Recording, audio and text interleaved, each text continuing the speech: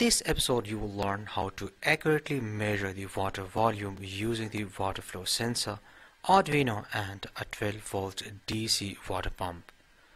Working on the water flow sensor is a bit tricky and that's the reason most of the people complain about the wrong values. There are things that we need to take care of while using the water flow sensor. As per the datasheet, when water flows through the rotor, rotor rolls. Its speed changes with different rate of flow. If we can keep the pressure and flow constant, we can make an accurate water volume measurement system. I solved this problem by using a 12 volt water pump. As you can see, each time I press the push button, I get the same water flow and pressure. In this episode, I will also explain what's inside this water flow sensor and how it works. I will also explain the complete circuit diagram, making and Arduino programming. Without any further delay, let's get started.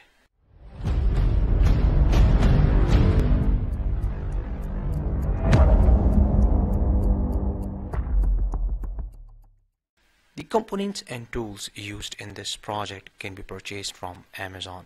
The components purchase links are given in the description. This is the water flow sensor which consists of a PVC body. This water flow sensor is suitable to detect flow in water dispensers and coffee machines.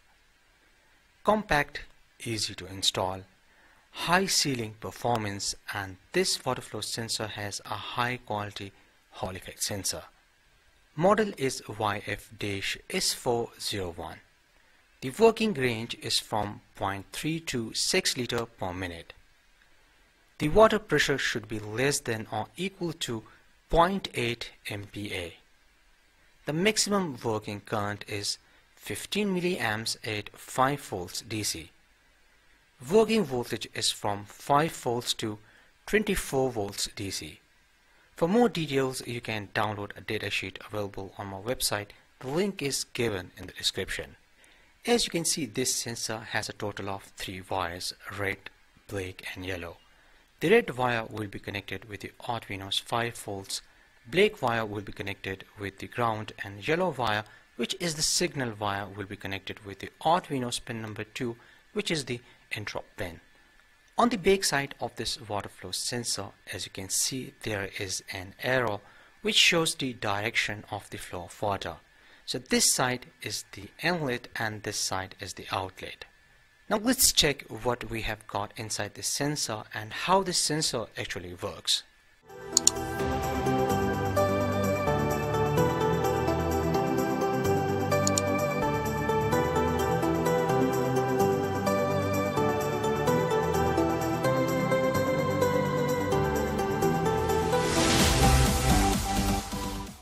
Inside this water flow sensor we have a high quality Hall effect sensor.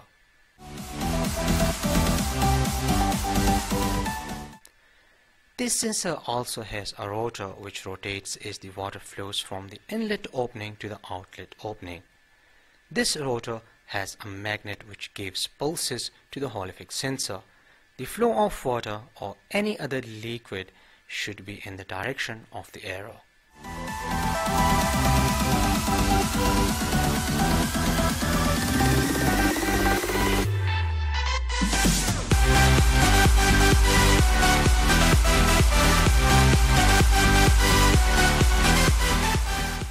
This schematic is designed in CadSoft Eagle 9.1.0 version. If you want to learn how to make schematic and PCB then watch my tutorial, the link is given in the description.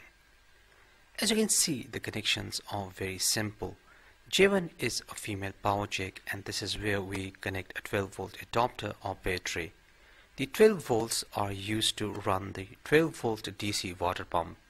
The ground is directly connected with the water pump while the 12 volts are connected with the water pump through a push button. The water flow sensor 5 volt pin is connected with the Arduino's 5 volts. The ground pin of the water flow sensor is connected with the Arduino's ground and the signal wire is connected with the Arduino's pin number 2 which is the interrupt pin. This is a 12 volt DC water pump. As you can see it has two wires. White is the positive wire and black is the ground wire.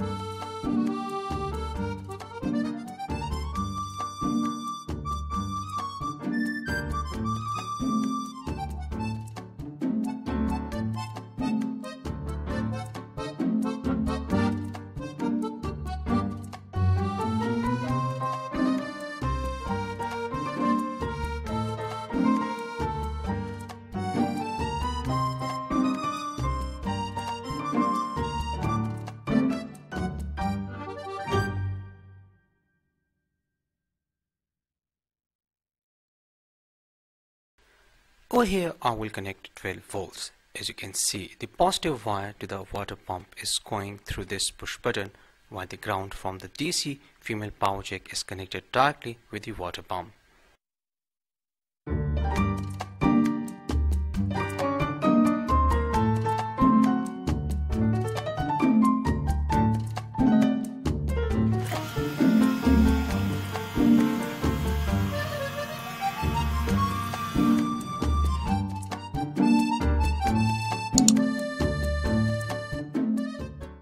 As you can see, the three wires of the water flow sensor YF-S401 are connected with the Arduino.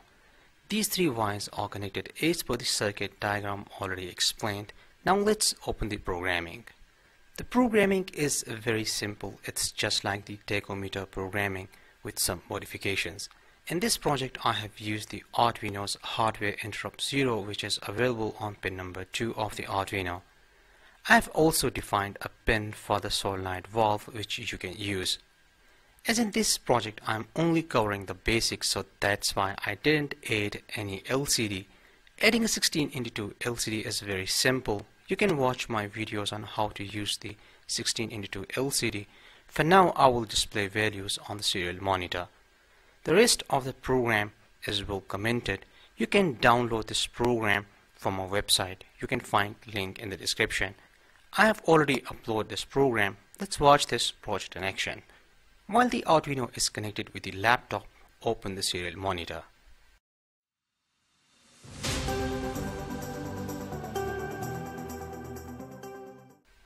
As you can see, currently the value is 0.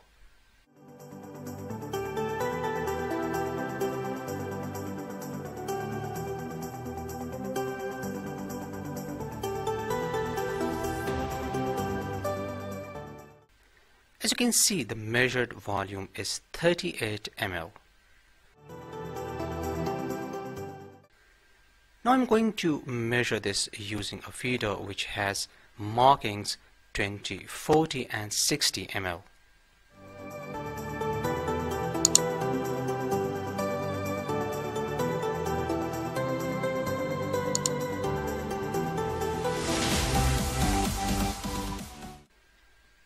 As you can see, it's exactly 38 ml. Now let's perform another test and make sure you reset the Arduino.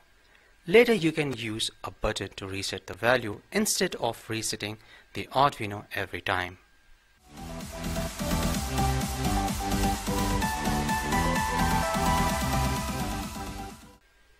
As you can see the value is 50 ml.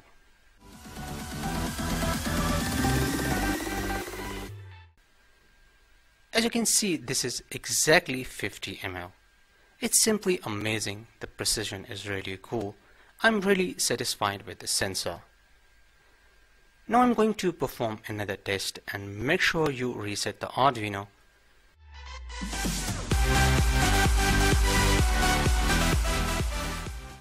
As you can see the value is 55 ml.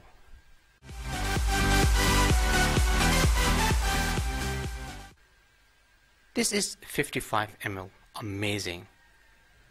I successfully performed all the tests. Support me on Patreon for more videos. I hope you liked today's episode.